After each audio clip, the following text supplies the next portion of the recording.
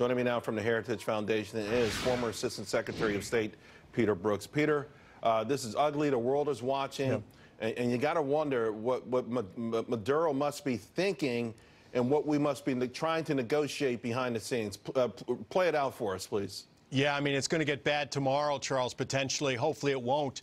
You have groups inside of Venezuela trying to clear a pathway to the border to get the aid that is being uh, stocked in places like Colombia and in Brazil.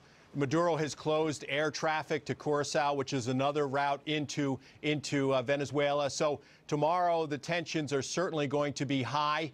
Uh, this is an unnecessary tragedy, of you I have spoken about many times. It's a crisis, and there could, there's a potential for more violence, which nobody wants to see. So Maduro must be thinking about what are my reputational costs if I crack down on these sort of things internationally, uh, because the world is going to be watching what happens tomorrow in Venezuela and on the borders of Venezuela. What are the wild cards here, Peter? Uh, apparently, um a major diplomat from Venezuela has been in Moscow this week.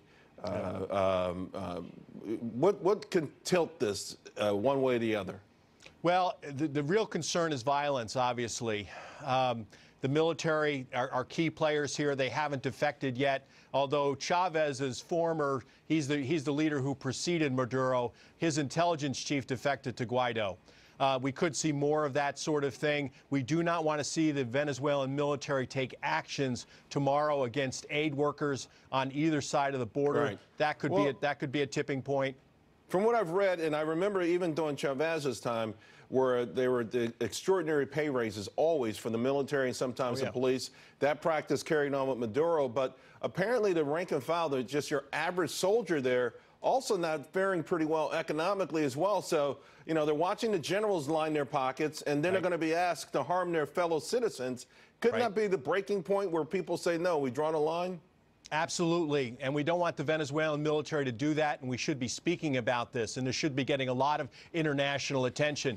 The enlisted and the junior officers are not doing as well as the 2,000 plus general officers in the Venezuelan military. Charles, we only have like 650 general officers in the U.S. military. You know how big and powerful that is. In Venezuela, there's more than 2,000. Uh, Chavez did this to try to placate them and mollify them and get them to join his ranks years ago. Maduro has continued that process. They're in charge of food distribution. They're involved in energy production. Uh, they're doing pretty well. So right. they're really worried about if they fall, what happens to them.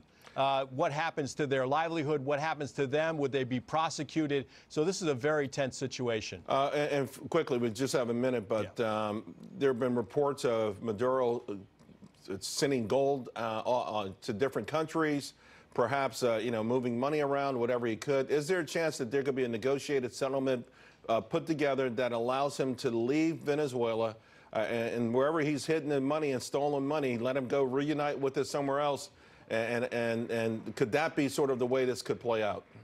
Well, that's a possibility that he could be given exile in a country such as China, Russia. Uh, there's right. other places. Cuba is probably high high on that list. Of course, we don't want him to have the Venezuelan people's of money, Charles. Of course and we don't not. want him to get away with anything in terms of crimes that right. he's committed. Uh, but, but as an alternative, that, as an alternative to violence, that's all I was saying. Yes, I, yes, exactly. Peaceful transition to a to a free and fair elections under an interim government is what we want. We got to leave it right there, Peter. Thank you so much. Thanks for having me.